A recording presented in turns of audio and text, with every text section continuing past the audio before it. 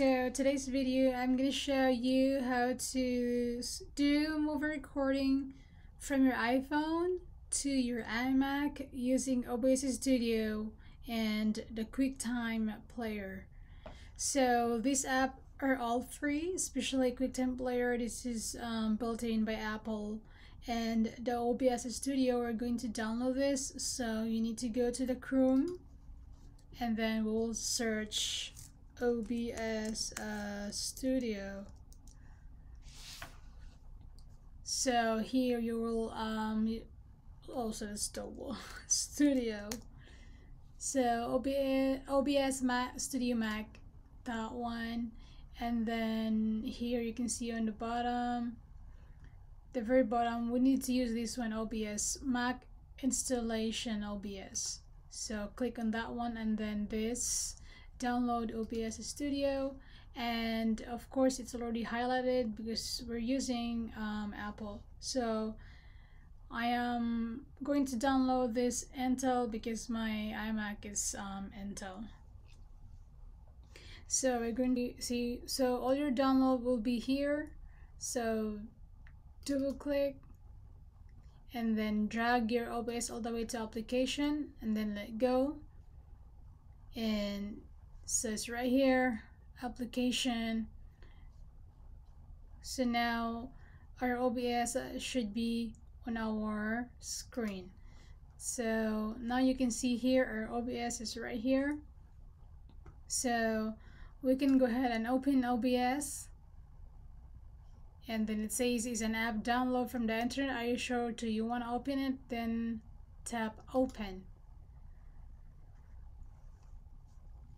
so now this is our OBS look like which is I'm already here because I had this before but I can go ahead and delete all of this so that we can walk through to the process all of them.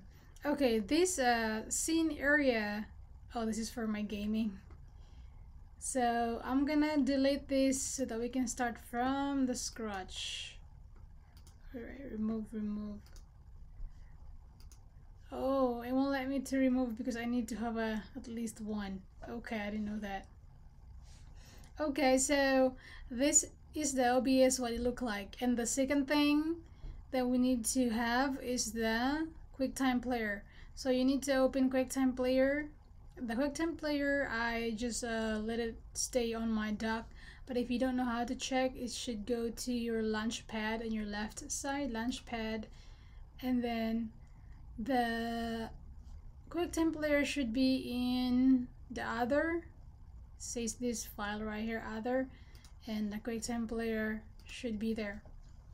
So every time you open QuickTime Player you can see this uh, white box right here but we know that we don't we don't need this one so let's just cancel that and let's go ahead to the bottom which is the QuickTime Player app and then right click to it and then you need to use the new movie recording Okay, so every time you tap new, new movie recording, you can see your uh, face right there because you did not connect your phone yet. So we have to connect our phone. So now let's go ahead and connect our phone. Okay, so this is the USB-C cable that you need to connect your phone to the Mac. So this is go behind your Mac and this is one for your phone. The phone is connected now. We need to tap this down um, button here and you need to use your screen from your iPhone. And then, so I can show you my game, or does the game look like? So, alright, again, this uh, down, down button and you need to use your screen from your iPhone and the speaker from your iPhone. So the last thing that people forgot, they cannot hear the background music is because this one is not on. So you need to turn that up. The volume needs to turn up so that you can hear the sound and also and where's my OBS? Okay, right here so that I can show you. And then also your phone needs to turn on the Bluetooth and this one here needs to be sound not silent so turn this up. You know this little button here. Needs to turn up so that we can hear a sound. It's, if it's if you're not gonna turn that up you cannot hear anything because it will be silent. And the second thing is you need to go to the settings. So settings and then you need to go to the sound and your output make sure that you use the iMac speaker. And then the input this is like our microphone. So don't use iMac, iMac microphone because it will give you an echo. So you need to use the different type of source from outside not the built-in one. Me I use Maono this one that I'm using from from YouTube. So okay go back to our QuickTime player so this is our QuickTime player look like again don't forget to turn this up so that you can hear so that you can hear the background music. See that? That's my background music from my game. But I can turn that down a little bit. So again that volume and then the screen should be from your iPhone and the speaker from your iPhone too so that you can hear the background music from your phone. Because if you want to do play your game and then you want and you want to do the live streaming so the audience can hear you the fans can hear you you need to make sure that you turn that on. Speaker from your iPhone and screen from your iPhone too. Alright that's it. So let me turn this down Okay, now we, we can go back to the, the, the OBS. So this is the OBS screen right here. So we will make a new scenes so that I can show you how to do the screen right there and the camera and the microphone, how to add them. So I can put add we need to add a new one. I can put this one as a test. Test and enter. Okay now so this is our test. So first thing we're going to um, click the the plus button and then we will add our microphone. So you can name there whatever you want. Me I just leave it open. Because it's only for example so and then tap OK and then the device my microphone is the Maono so you need to use again different uh, source. That way you can have like a good background good sound. It's not like echoing or something. So I highly recommend that you need to buy you know something like that from Amazon the microphone that we can do for live streaming. This Maono microphone this is cheap one but it's good. I, I had this like almost a year now. So okay just Maono and then okay and then another add button for our um, screen capture. So Mac OS screen capture. And then again you can change the name here whatever you want. But me I just leave it open like that whatever the name is because this is only for the test and then okay so now let's do a window capture. And then we will use QuickTime movie recording because this is from our phone. So QuickTime Player movie recording and then okay. So now here this is what it looked like and as you can see the screen are not full in the window. So what we do we need to do to right click and then you need to go to transform and you will choose the switch to screen. Okay now everything is in there. You can see everything from my screen. Now from my screen you can see everything there and let's add our camera. So this is gonna be the video capture device. And okay.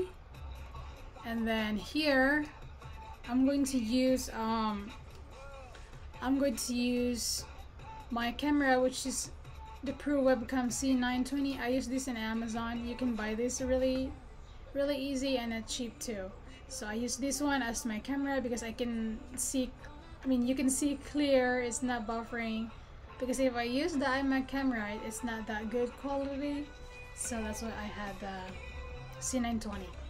Okay, alright. So everything here, we can drag this to there. and that way you cannot see my other background there so let's drag like that and then make sure that you tap the video capture device before you tap the filters. Okay because we want to use a chroma key. So let's tap uh, filters and then let's add here and then choose the chroma key and okay. And then now our screen is gone. So and then close. So now you can see me only. You, you cannot see anything from my background earlier that you have my printer and my other boxes right there. So you can only see my chair and of course the the back is the display from our phone. So you can go ahead and lock that. In that way you cannot touch anything.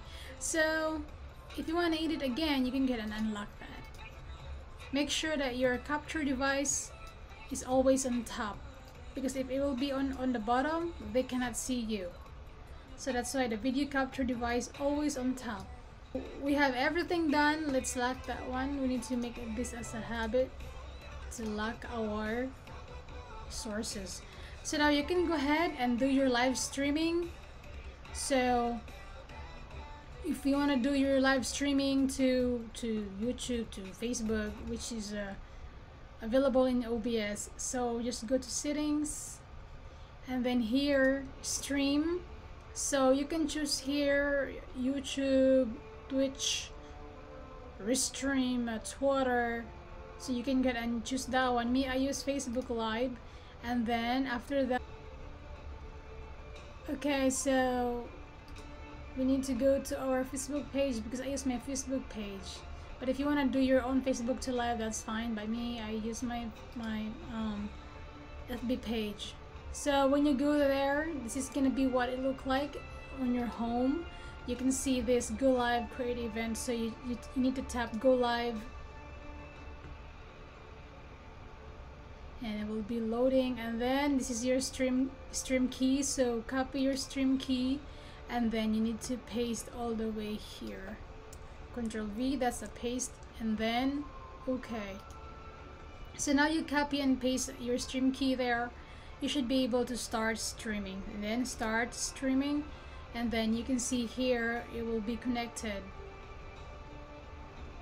Okay so now you can see me here. It's connected right now.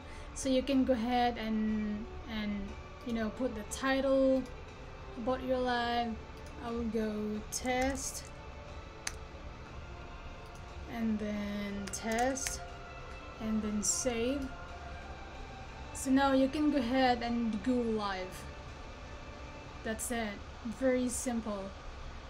Alright everyone that's it for today's video. If you have any questions and if you want me to do something just go ahead and comment it down below. Thank you and bye